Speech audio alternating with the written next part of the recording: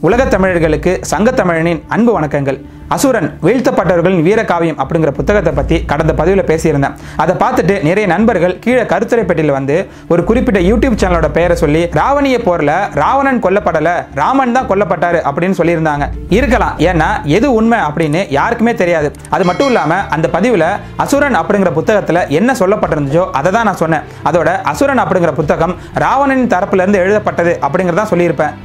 ஒருவேளை அந்த நண்பர்கள் சொல்ற மாதிரி ராவணிய போர்ல ராமன் கொல்லப்பட்டு கடல்ல மிதக்க விடப்பட்டிருக்கலாம். அதை மறைக்கத்தான் ராமன் சரயு நதியில மூழ்கி தற்கொலை செஞ்சுக்கிட்டாரு அப்படின்னு வால்மீகி ராமாயணத்துல கூட குறிப்பிட்டிருக்கலாம். இப்படி ஒன்னா ரெண்டா கிட்டத்தட்ட முன்னூறுக்கும் மேற்பட்ட ராமாயண கதைகள் இருக்கு. இந்தியா மட்டும் இல்லாம பர்மா இந்தோனேசியா தாய்லாந்து போன்ற பல நாடுகள்லையும் இந்த ராமாயண கதைகள் இருக்குது ஒவ்வொன்றும் ஒவ்வொரு மாதிரி இருக்குது இவற்றுக்கிடையே நிறைய முரண்பாடுகளும் இருக்குது இதில் எது மூத்தது அப்படின்னு யாராலையுமே அறுதிட்டு சொல்ல முடியல. இது மட்டும் இல்லாமல் காலத்தால் பழமையான தமிழ் ராமாயணத்தின் ஐந்து பாடல்களும் கிடச்சிருக்கு. இது எல்லாத்தையும் பற்றி தான் இந்த பதிவில் பார்க்க போகிறோம் எனவே கண்டிப்பாக முழுமையாக அந்த பதிவை பாருங்கள் ஐ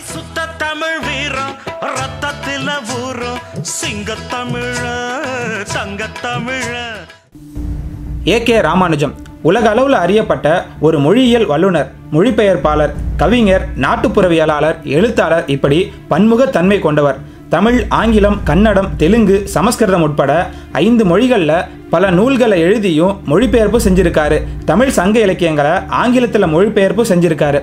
இவர் மைசூரில் பிறந்த ஒரு ஐயங்கார் பிரிவை சேர்ந்த பிராமணர்.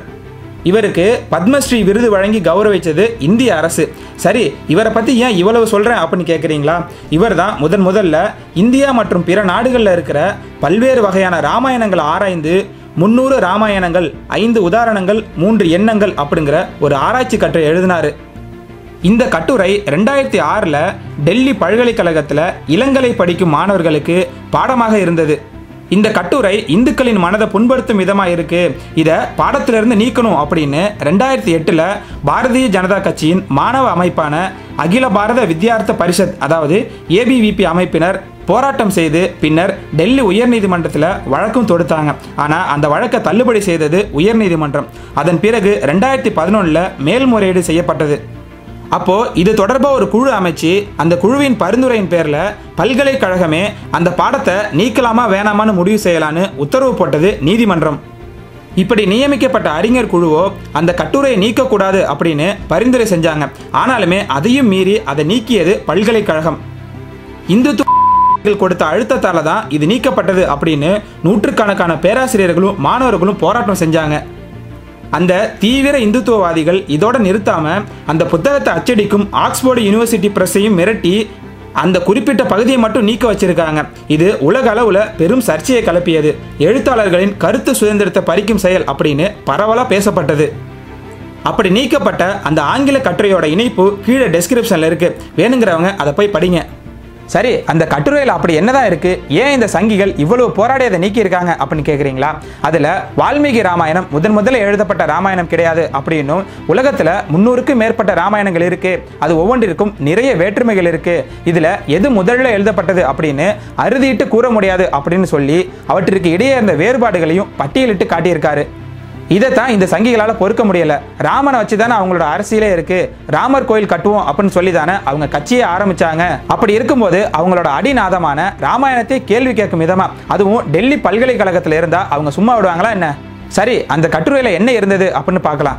ஒன்றா ரெண்டா கிட்டத்தட்ட முன்னூறுக்கும் மேற்பட்ட ராமாயணங்கள் Tamil Telugu Kannada Annamese Balinese Bengali Cambodian Chinese Gujarati Javanese Kashmiri Khotanese Malaysian Marathi Oriya பிராகிருதம் சமஸ்கிருதம் சாந்தலி சிங்களம் தாய் திபெத்தியன் போன்ற பல்வேறு மொழிகளில் எழுதப்பட்டிருக்கு.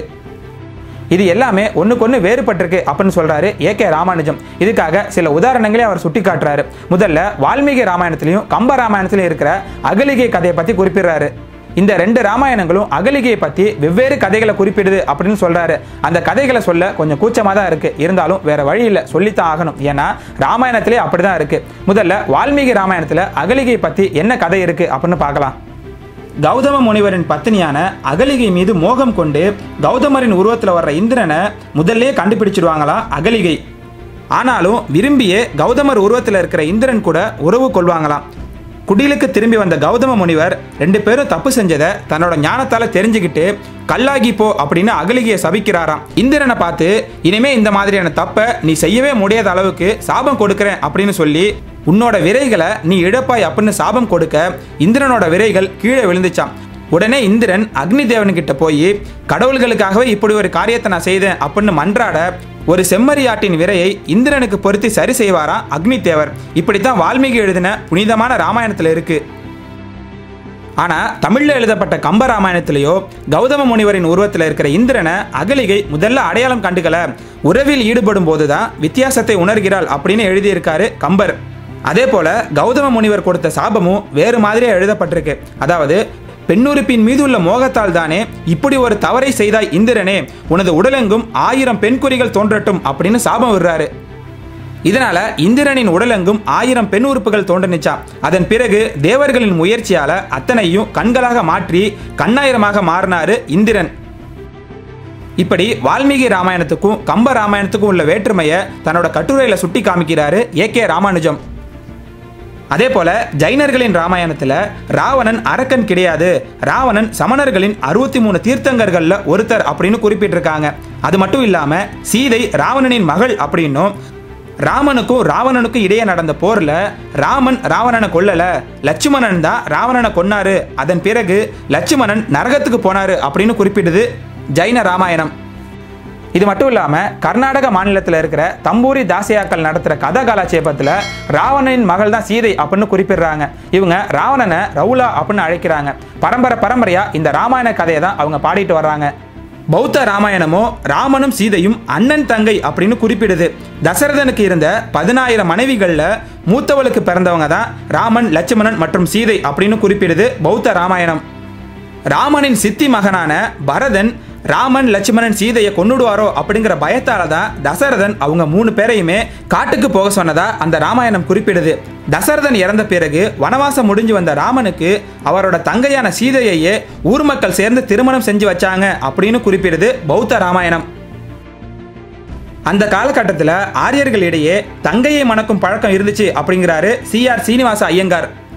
இவர் யாருன்னா வால்மீகி ராமாயணத்தை ஆங்கிலத்தில் மொழிபெயர்த்தவர். இது மட்டும் இல்லாமல் ரிக்வேதத்திலேயே பத்தாவது மண்டலத்தில் இருக்கிற பத்து பன்னெண்டு ஸ்லோகங்களில் விவசுவானின் மகனும் மகளுமான இரட்டையர்களான இயமியும் இயமனும் பேசிக்கொண்டிருக்கபடி ஒரு ஸ்லோகம் வரும். அதில் இயமி தன் கூட பிறந்தவனான இயமனை தன் கூட உறவு கொள்ளும்படி அழைப்பா. ஆனால் இயமன் வேண்டான்னு மறுப்பாரு. இதன் மூலம் அந்த காலத்தில் சகோதரியை மணப்பது சாதாரணமாக இருந்துச்சு அப்படின்னு சொல்கிறாரு சீனிவாச ஐயங்கார். இது மட்டும் இல்லாம சூரியனும் அக்னியும் தங்களோட தங்கையை தான் மணந்துக்கிட்டாங்க அப்படின்னு குறிப்பிடுறாரு சீனிவாச ஐயங்கார். இந்த சீனிவாச ஐயங்கார் மொழிபெயர்த்த வால்மீகி ராமாயணத்தின் நானூத்தி முப்பத்தி ஒன்னாம் பக்கத்துல சீதையை தசரதனின் மகள் அதாவது ராமனின் தங்கை அப்படின்னு தான் குறிப்பிடுறாரு. தன்னோட மகளான சீதையை தசரதன் தான் ஜனகனுக்கு தானம் செய்து கொடுத்தாரு அப்படின்னும் பின்னர் ராமன் சீதை தன்னோட தங்கை அப்படின்னு தெரியாம தான் திருமணம் செஞ்சுக்கிட்டாரு அப்படின்னு குறிப்பிடுறாரு சீனிவாச ஐயங்கார். ஒருவேளை ராவணனின் தங்கையான சூர்பனகை அவமானப்படுத்தினதால தான் ராவணன் ராமனோட தங்கையான சீதையை தூக்கிட்டு போயிருப்பாரோ? இது மட்டும் இல்லாமல் சீதை ராவணனின் மகள் அப்படிங்கிற குறிப்புகள் மௌட்கல்ய ராமாயணத்தில் இருப்பதாகவும் சொல்றாரு சீனிவாச ஐயங்கார். இப்படி சீதை தசரதனுக்கு மகள் அதாவது ராமனுக்கு தங்கை அப்படிங்கிறதுக்கு நான்கைந்து ஆதாரங்களும் சீதை ராவணனின் மகள் அப்படிங்கிறதுக்கு இரண்டு ஆதாரமும் இருப்பதா சொல்றாரு இந்த சீனிவாச ஐயங்கார். இப்படி பல்வேறு குழப்பங்கள் இருப்பதால தான் வால்மீகி ராமாயணத்தில் சீதையோட பிறப்பை பற்றியோ அவரின் பழைய சந்ததி பற்றியோ ஒரு வரி கூட எழுதியிருக்க மாட்டாரு வால்மீகி. அதனால இதெல்லாம் உண்மையாக கூட இருக்கலாம் அப்படின்னு சொல்றாரு சீனிவாச ஐயங்கார். இதே போல ராமகியன் எனப்படும் தாய்லாந்து ராமாயணத்தில் போர்க்காட்சிகளை தான் அதிகமாக விவரித்து எழுதியிருப்பாங்க. அது மட்டும் இல்லாமல் அனுமனை பெண் பித்தனா தான் காட்டியிருப்பாங்க. அவருக்கு நிறைய மனைவிகள் இருந்த மாதிரியும் காட்டியிருப்பாங்க. அனுமனை ராமபக்தன் அப்படின்னு சொல்லாம அனுமன் வெறும் தூதுவன் தான் அப்படின்னு சொல்லியிருப்பாங்க. இது மட்டும் இல்லாம ராமனும் சீதையும் சேர்ந்த பிறகு சூர்பனகையோட மகள் தன்னோட அடையாளத்தை மறைச்சி சீதை கிட்ட வேலைக்கு சேருவாங்களாம். அப்போ ராவணனோட படத்தை வரைய சொல்லுவாங்களாம். இதனால சீதையும் ராவணனோட படத்தை வரைய அதை பார்த்த ராமன் சீதையை சந்தேகப்பட்டு சீதையை கொல்ல சொல்லி லட்சுமணனுக்கு உத்தரவிட்டாராம் ஆனாலும் சீதையை கொல்ல மனம் இல்லாத லட்சுமணனோ ஒரு மானை கொன்னுட்டு அதோட இதயத்தை ராமன் கிட்ட காமிச்சு சீதையை கொன்னுட்டேன் அப்படின்னு சொல்லுவாராம். இப்படித்தான் ராமனை சித்தரிக்குது தாய்லாந்து ராமாயணம். இதே போல வால்மீகி ராமாயணத்துல ராமன் சராயு நதியில குதிச்சு தற்கொலை செய்து கொள்வார். ஆனா பௌத்த ஜைன ராமாயணத்திலேயோ உயிர் பலி தற்கொலை கூடாதுன்னு அந்த மதங்கள் வலியுறுத்துவதால ராமன் தற்கொலையை பத்தி எந்த குறிப்புகளுமே இருக்காது. இதே போல சீதை ராமனை திருமணம் செஞ்சுக்கும் போது சீதைக்கு எட்டு வயது அப்படின்னு குறிப்பிடுது வால்மீகி ராமாயணம். ஆனா கம்ப ராமாயணத்திலேயோ அவங்களோட திருமணத்தின் போது சீதைக்கு வயது பன்னெண்டு அப்படின்னு குறிப்பிடுது. கேரளாவின் வயநாடு பகுதியில் இருக்கிற பழங்குடியின மக்கள் அங்க இருக்கிற புள்ளப்பள்ளி அப்படிங்கிற ஊர்ல தான் வால்மீகியோட ஆசிரமம் இருக்கு. வால்மீகியோட உண்மையான ஊரே இந்த புள்ளப்பள்ளி தான் ஒட்டுமொத்த ராமாயண கதைகளும் கேரளாவில் தான் நடந்துச்சு. இலங்கை அப்படிங்கிறது இங்கே இருக்கிற ஒரு நீர்நிலையை குறிக்கும். இதை கடந்து தான் ராவணன் கிட்ட இருந்து சீதையை மீட்டார் ராமன். அனுமன் கட்டிய பாலம் கூட இங்கே இருக்கு அப்படின்னு குறிப்பிடுறாங்க. இதை அந்த பழங்குடியின மக்கள் காலம் காலமாக பாட்டா பாடிட்டு வராங்களாம் இது மட்டும் இல்லாமல் தமிழில் இருக்கிற பழமையான ராமாயணத்தின் ஐந்து பாடல்கள் நமக்கு கிடைச்சிருக்கு. இந்த பழமையான ராமாயணத்தின் மற்ற பகுதியில் கிடைக்கல. இதனால இந்த பாடல்களை புறத்திரட்டு அப்படிங்கிற தொகை நூலில் வெளியிட்டிருக்காரு திரு வையாபுரி பிள்ளை. இந்த பாடல்கள் மறைந்து போன தமிழ் நூல்கள் அப்படிங்கிற தலைப்பில் மயிலை சீனி வேங்கடசாமி எழுதிய புத்தகத்திலையும் இருக்கு. இந்த ராமாயண பாடல்கள் கம்ப ராமாயணத்துக்கும் முற்பட்டதா இருந்திருக்கணும் அப்படின்னு சொல்கிறாங்க தமிழ் அறிஞர்கள். ஏன்னா இந்த பாடல்களுக்கும் கம்ப ராமாயணத்துக்கும் நிறைய வேற்றுமைகள் இருந்திருக்கு. குறிப்பா ராவணனின் கோட்டை பற்றி பழைய ராமாயணத்துக்கும் கம்ப ராமாயணத்துக்கும் நிறைய வேறுபாடுகள் இருந்திருக்கு. அதே போல ராவணன் தமிழர்களின் போர் முறையான நொச்சி தடந்தகையை பயன்படுத்தினாரு அப்படின்னு குறிப்பிடுது இந்த பழைய ராமாயணம். இந்த போர் முறை தொல்காப்பியத்தில் குறிப்பிடப்பட்டுள்ள ஒரு தமிழர் போர் முறை. ராவணன் தமிழன் அப்படின்னு நாம எல்லோருமே தெரிஞ்சுக்கலாம்.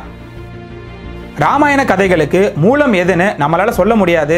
வால்மீகி காலத்திலேயே வேறு ராமாயணங்கள் இருந்திருக்கின்றன. எல்லா ராமாயணமும் ஏதோ ஒன்றின் தழுவல் அப்படின்னும் மொழிபெயர்ப்பு அப்படின்னும் நம்மளால சொல்லிட முடியாதுன்னு சொல்றாங்க பிரபல வரலாற்று ஆய்வாளரான ரொமிலா தாப்பர். இதிகாசங்களுக்கு பின் நாட்கள்ல தான் தெய்வீகத்தன்மை புகுத்துனாங்க. பிறகு பிராமணர்கள் அப்படின்னு குறிப்பிடுறாரு வரலாற்று ஆய்வாளரான வி எஸ் சுப்தாங்கர். இப்படி பல்வேறு ராமாயண கதைகள் இருந்துமே தங்கள்கிட்ட இருக்க ஆட்சி அதிகாரத்தை பயன்படுத்தி சமஸ்கிருதத்தில் எழுதப்பட்ட வால்மீகி ராமாயணத்தை மட்டுமே தூக்கி பிடிச்சு அதையே மக்களையும் நம்ப வச்சிட்டு இருக்காங்க இந்த ஆரிய பிராமணர்கள். அது மட்டும் இல்லாம பல கோடி ரூபாய் மக்களின் வரி பணத்தை செலவு பண்ணி ராமனுக்கு கோவிலும் கட்டிட்டு இருக்காங்க. இது எந்த வகையில நியாயம் அப்படின்னு தெரியல. இதே போன்ற பதிவுகளுக்கு சங்கத்தமிழன் டிவியோடு தொடர்ந்து இணைந்திருங்கள். நன்றி வணக்கம்.